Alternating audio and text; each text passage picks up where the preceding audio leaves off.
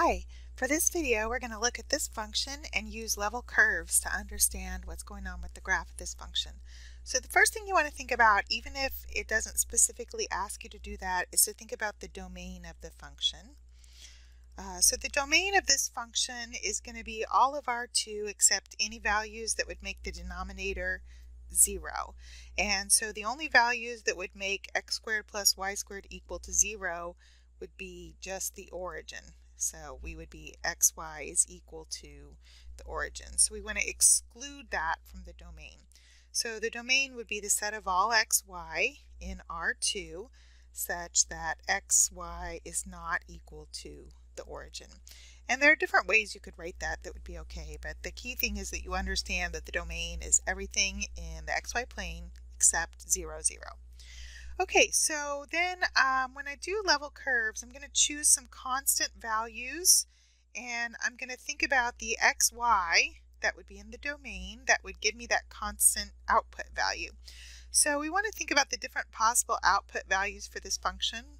Uh, generally, I just kind of start by thinking about positive, negative, and zero to start with, and then maybe um, refine that and think about some more values. So uh, if you think about this function, we can get negative output values when I put in, um, if the numerator is negative, then I'll have a negative output value for this function.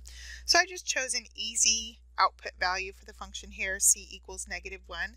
Uh, we'll also be able to think about c equals 0 and c equals 1.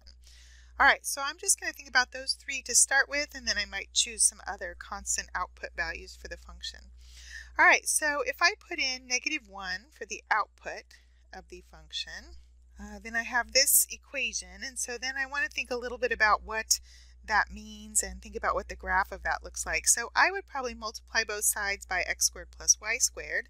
So I'd get negative x squared minus y squared equals x and then maybe recognize that that is a circle, just not centered at the origin.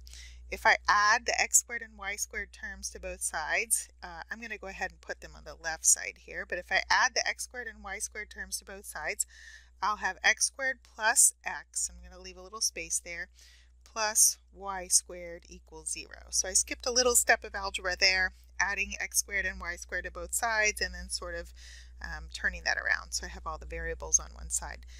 Uh, the reason I left a little space there is because uh, hopefully you remember when we did some things with spheres about completing the square.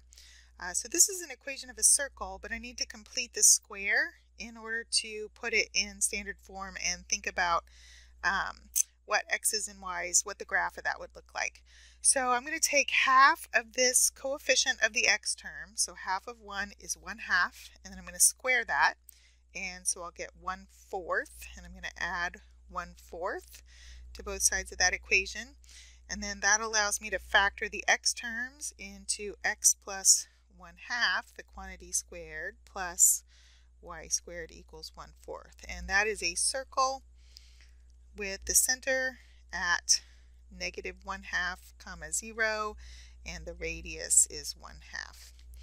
Okay, and then when I do these others, I'll get some other variations of that. Um, I'm going to go over here and do c equals 1 next. I'll do that in a different color here. c equals 1. So I'll have 1 equals x over x squared plus y squared. And we get kind of a similar deal here. If I multiply both sides of that by x squared plus y squared, I get uh, x squared plus y squared equals x, and then I'm going to subtract the x term from both sides leave a little space. And I will take half of that negative 1 coefficient. I'll get negative 1 half and square it, so I'll add 1 fourth to both sides. And then that gives me uh, something I can factor for the x's, so I end up with x minus 1 half, the quantity squared, plus y squared equals 1 fourth. And so that again is a circle. That one has a center at 1 half comma 0 and a radius of 1 half. Okay, and then for the c equals 0, I get something a little bit different here. Um, if I have 0 equals this fraction, that's only going to be equal to 0 if the numerator equals 0. So for this one, I don't really have a circle. I just have x equals 0. All right, I'm going to go ahead and graph uh, those three level curves on one coordinate system and then talk a little bit about what that tells us about the graph of the function. Uh, one thing that I do want to pay attention to though, remember our domain uh, was all of R2 except the origin. So I want to make sure when I draw these that I exclude the origin uh, from any of these curves. You might notice that actually all three of these pass through the origin. So when I draw these level curves, I'm going to set up a coordinate system here just in the xy plane. Remember that uh, level curves would just be part of the domain of the function, so those would just be in the xy plane. And I'm going to go ahead and scale and I'm going to go ahead and scale off here uh, by 1 half and 1. So 1, negative 1, and 1, and negative 1. So uh, because I have these circles of radius 1 half, I went ahead and uh, scaled it at 1, but I've got these little tick marks at 1 half. All right, so I'm going to do these in color that kind of matches what I did here with the uh, equations. So for the first one, when the output of the function is negative 1, I've got a circle whose center is at negative 1 half 0, and then the radius of that circle is 1 half. So I'm going to have a circle over here, and I really should exclude the origin. So that circle should not include the origin. I put an open circle there at the origin to indicate that the origin was not included. Um, and then x equals 0, that's the y-axis but it's not all of the y-axis. So I want to exclude the origin, remember. So all of the y-axis except the origin. And then the other one I did when c is equal to 1, I have a circle with center at 1 half 0 and radius 1 half. And again, that circle would pass through the origin, except that I want to exclude the origin. All right, so there are three level curves uh, I can maybe think about what's going to happen if I have other level curves. I should also label these. This one is when c equals 1. This one is in c equals 0. And this one is when c equals negative 1. All right, so when we think about what that tells us about the graph of the surface, uh, we would know that these constant outputs would correspond to z coordinates on the graph of the function.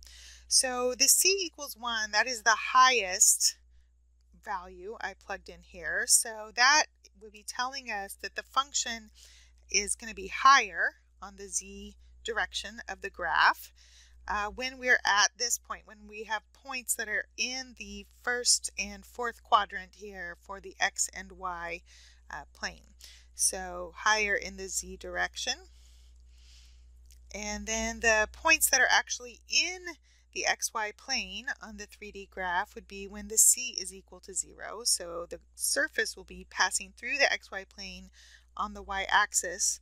And then what I would expect to see is that we are below the xy plane. This c equals negative 1 would correspond to a z value of negative 1. That we're going to be below the xy plane. Uh, so lower z values when we are left of the y-axis in the 3D graph. Okay, I have gone ahead and plugged in our original function to CalcPlot 3D. And here's that graph. It looks a little bit crazy. Uh, so we've got these, if I rotate this around a little bit, you can see I've got these kind of this part going way up and this part going way down. And it's kind of just looking a little bit strange there. Uh, I'm also going to go ahead and do the level curves here. So I just am going to use the default settings on the level curves here. So it's going to give me level curves from z equals negative 1 to z equals positive 1 with an increment of 0.2.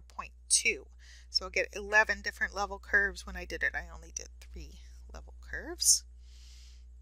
And then remember, if you click on the graph the level curves, you'll be able to see a graph of the three-dimensional surface with those level curves labeled and also the graph of the level curves over uh, to the left there.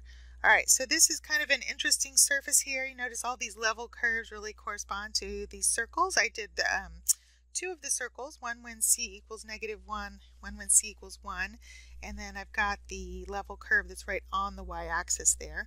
Um, but this is kind of a, an interesting and strange graph. This is not the graph of a surface I would expect you to be able to draw by hand maybe be able to use the level curves to identify the graph of a surface. There are some matching problems in your homework where you're given the graph of level curves and the graph of a surface and supposed to match those. So those would be the kinds of things I would expect you to do with a function like this. Okay, try some of those homework problems and then we'll look at some things with graphs in higher dimensions.